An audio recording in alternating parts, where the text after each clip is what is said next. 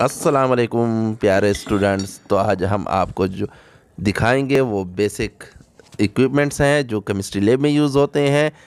तो ये सबसे पहले बीकर्स हैं, एक छोटा बीकर और एक बड़ा बीकर्स ठीक है? इन पर मुख्तलिफ़ वॉल्यूम की यूनिट्स दी गई होती हैं लिमिट दी गई कि कितने लिमिट तक आप इसमें वॉल्यूम में सॉल्यूशन ले सकते हैं या सॉल्वेंट ठीक है? इसके बाद थिस्टल फनल है।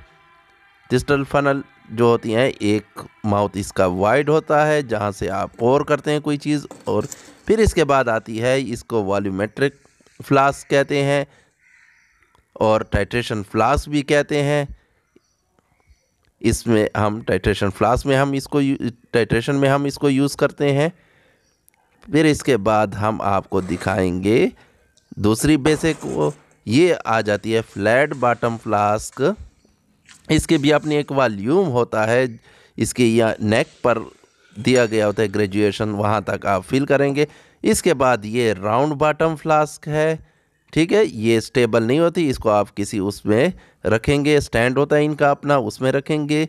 ये राउंड इनका जो बॉटम होता है, बिल्कुल राउंड होता है जबकि फ्लैट बॉटम फ्लास्क में बॉटम फ्लैट होता है तो वो ठहर सकती है।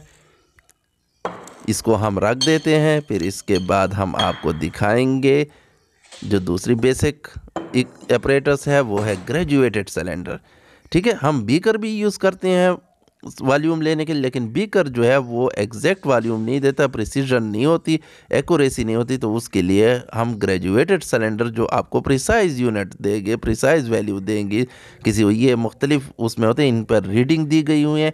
आपने कितना वॉल्यूम लेना है, थोड़ा वॉल्यूम लें तो छोटी ग्रेजुएटेड सिलेंडर यूज़ करेंगे और अगर बड़ी बड़ा वॉल्यूम लेना है तो उसके लिए आप बड़ा ग्रेजुएटेड सिलेंडर यूज़ करेंगे। ठीक है? फिर इसके बाद ये डबल नेक बाटल है। ये भी हम केमिकल रिएक्शन में ज़्यादातर में यूज़ करते हैं। इसके दो माउथ होते हैं, दो ओपनिंग होती हैं। ठीक है? फिर इसके बाद हम आपको दिखाएँगे ये गैस कलेक्टिंग जार। ये जब किसी रिएक्शन में गैस प्रोड्यूस होने और उसको हमने कलेक्ट करना होता है तो उसके लिए ये यूज़ होता है फॉर गैस कलेक्शन और इससे फिर हम टेस्टिंग करते हैं कि गैस बनी है या नहीं बनी। फिर इसके बाद ये जो आ जाते मोरथार किसी चीज़ को ग्राइंड करना हो तो इसमें हम पेस्टल से उसको ग्राइंड कर सकते हैं।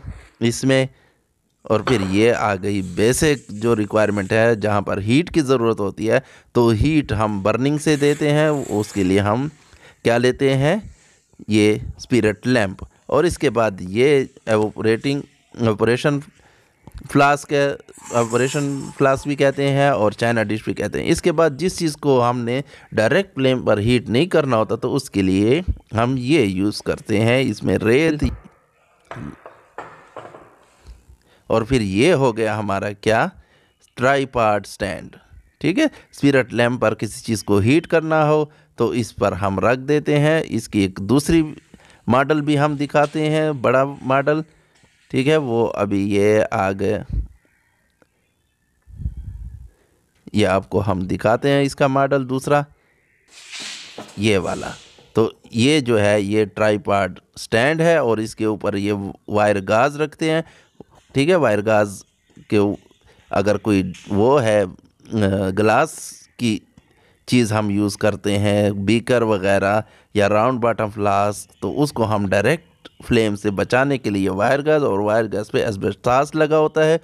वो भी हम नेक्स्ट उसमें आपको दिखाएँगे। तो ये हो गई सारी हमारी बेसिक इक्विपमेंट्स। इसके अलावा और भी इक्विपमेंट्स हैं तो वो भी हम आपको दिखाएँगे इन नेक्स्ट वीडियो में। तो चैनल को सब्सक्राइब करें, लाइक का बटन दबाएँ और बेल आइकन पर भी क्लिक करें।